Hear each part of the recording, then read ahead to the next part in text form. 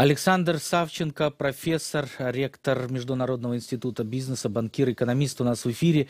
Приветствую вас. Да, здравствуйте. Александр Владимирович, вот мы говорим о, об очередном транше, об, оч, об очередном кредите с использованием российских активов.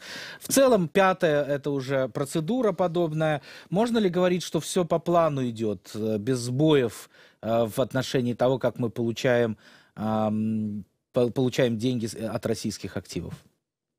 Ну, действительно, мы уже начали получать прибыль от российских активов. Сейчас э, сделана такая конструкция, она многоходовая, так скажу. В рамках инициативы «Большой семерки» есть э, кредит, который Евросоюз должен нам организовать, и он его уже организовал в размере э, 35 миллиардов евро. А 10 миллиардов евро э, попадают под юрисдикцию Соединенных Штатов, может быть, Канады э, также. И вот очень сложная конструкция. Вот в этот кредит 35 э, миллиардов евро идут доходы, будут идти доходы ежеквартально от прибыли замороженных российских активов, а также могут идти и другие средства, даже из других стран, не членов Евросоюза, которые захотят, например, помогать через этот механизм, потому что Евросоюз берет использование этих денег под контроль, будет требовать проведения реформ. Ну, то есть это традиционная такая э, парадигма э, помощи Европейского Союза. Они помогают, но контролируют и гарантируют целевое некоррупционное использование этих средств. А, поэтому, да, действительно, можно сказать, что большой этап закончен. Но самое главное для нас это то, что Евросоюз наконец-то заявил, что рано или поздно а, все убытки, которые нанесла Раша Украине, они превышают 300 миллиардов э, долларов. Вот все это должно быть погашено, в том числе за счет замороженных активов. То есть нет уже никаких шансов у Раши получить назад эти 300 миллиардов. Они уже использованы как коллатерал для кредитных линий. Это только первая кредитная линия на 45 лет. Э, и, по сути, это грант, это не кредит. Почему, допустим, если Украина не будет э, платить за эти деньги, э, то погашение будет за счет вот этих замороженных активов. Ну вот сложная конструкция, но она очень важная. Все ждут решения Международного суда, который в конце концов, ну, они длятся очень долго, несколько лет, как правило, вынесет вердикт э, о ущербу, по ущербу, который нанесла Раша Украине. Ну и вот эти 300 миллиардов будут использованы для этого, плюс другие механизмы. Американцы, вот уже новая администрация Трампа предлагает Э, вот такой механизм, как, э, э, знаете, часть экспортной выручки от продажи нефти пускать на погашение кредитов. Кстати, в ваших программах больше года назад я предлагал этот механизм. Даже хочет Раша выплачивать репарации, не хочет, все равно есть в мире механизмы, которые без воли и политического решения Раши найдут средства за ее счет для компенсации всех этих убытков, которые уже есть и еще будут, к сожалению. Еще добавим информацию о том, как страны Большой Семерки завершают работы по выделению Украине 50 миллиардов долларов, также из замороженных российских активов. Об этом заявил госсекретарь США Антони Блинкен. Он также напомнил, что недавно Вашингтон ввел новые санкции против Москвы, Они в том числе коснулись системно значимого «Газпромбанка». После этого акции компании обвалились до исторических минимумов. Сейчас за одну ценную бумагу корпорации на рынке дают около одного доллара. Ну, здесь, э, да, две новости, на самом деле, э, в принципе, и, и «Газпромбанк», э, и история, связанная с решением стран Большой Семерки. Поэтому, Александр Владимирович, тоже хотели бы вас попросить прокомментировать. Смотрите, то, что вы сказали, 50 миллиардов долларов, это и есть 45 миллиардов евро, приблизительно, так они считают. Это одна программа, просто она разбита сейчас. Европейская часть и американская часть. И теперь относительно санкций, да, но это уже не новость, да, это уже констатация факта, что хотя можно сказать и новость, потому что реально санкции начнут действовать только завтра – завтрашнего дня, с первого числа. А ожидание эффекта от этих санкций уже привело к обвалу валюты Раши, к ее девальвации.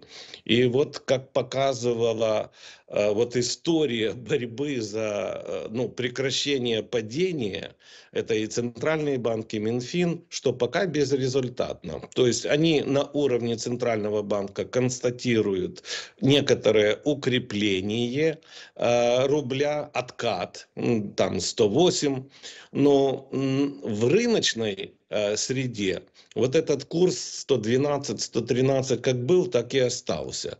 Но это существенная девальвация, которая приведет к инфляции, потому что это механизм обратной связи. Э, инфляция идет через девальвацию, а девальвация обусловлена инфляцией. А вот эти санкции еще привели к тому, что все меньше и меньше валюты заходит в эту страну есть дефицит долларов, дефицит, большой дефицит долларов.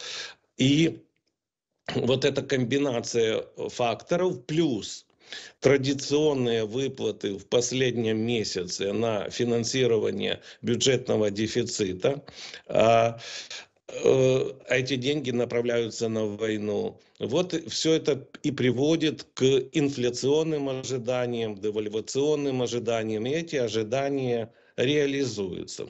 Что хотелось бы сказать, что мы поблагодарим а, а, с Белый дом за вот эти санкции, ожидаем таких до 20 января Европейского Союза.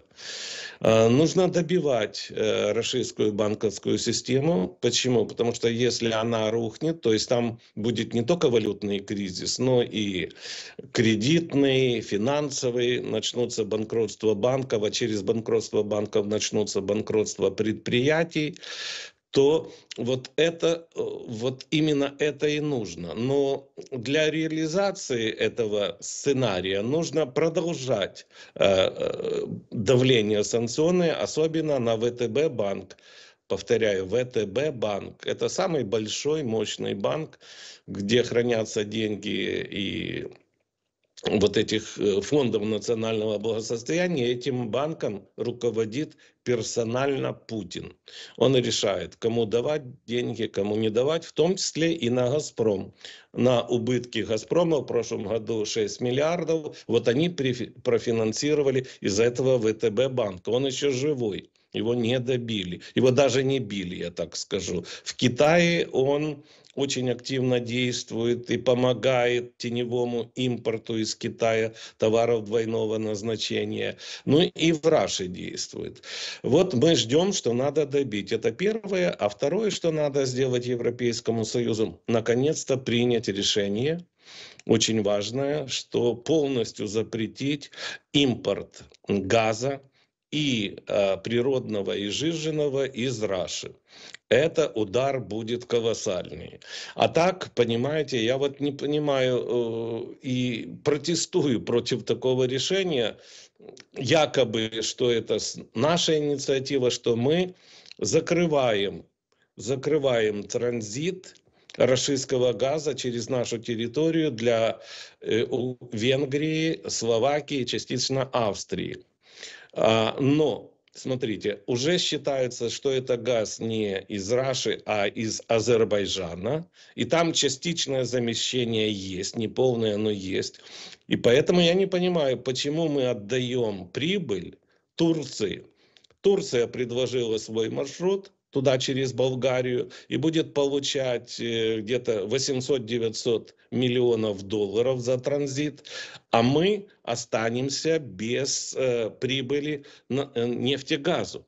А нам она очень нужна, прибыль очень большая, где-то я э, считаю 700 миллионов долларов, эти деньги очень бы пригодились для финансирования наших вооруженных сил. Поэтому, если мы при, э, закрываем транзит, то Европа должна отказаться от импорта газа, э, повторяю, и природного, и сжиженного. И вот эту инициативу может поддержать Трамп. Почему? Потому что в его программе завоевание всех рынков и жиженного газа, и э, нефти. Сейчас вся Америка начала э, свердлить, или как, как сказать, drill, да, э, открывать новые скважины, открывать новые скважины и нефти, и э, сжиженного газа. Вот и нам надо этим воспользоваться и предлагать Европейскому Союзу вот добивать российскую экономику. Она все еще жива. Э, вот эта эйфория девальвации, которая действительно э, приведет к еще большей инфляции, недостаточно для э, э, краха российской экономики и военной машины. Спасибо, Александр Владимирович. Не сомневались, вы действительно так основательно объяснили нам, что происходит. Обязательно еще созвонимся. А, много динамичных процессов в российской экономике, и хотелось бы, чтобы эти процессы привели, наконец, к финансовому хотя бы краху. Спасибо. Александр Савченко, профессор, ректор Международного института бизнеса, банкир, экономист. А, мы говорили о решении, э, совместном решении Украины и Евросоюза, очередной транш э, из доходы от российских активов мы получили, и также обсудили внутриэкономическую ситуацию в Российской Федерации.